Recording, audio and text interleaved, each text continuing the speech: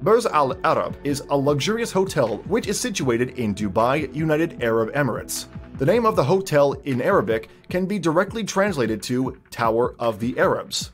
This is one of the tallest hotels in the world and ranks on the fifth spot of that list currently. The shape of this hotel was designed in such a way that it ends up resembling the shape of a sail on a large ship.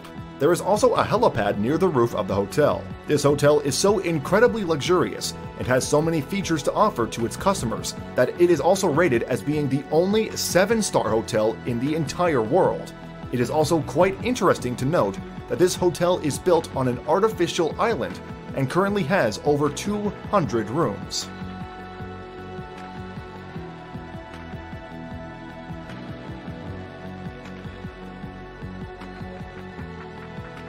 And number 1, Emirates Palace.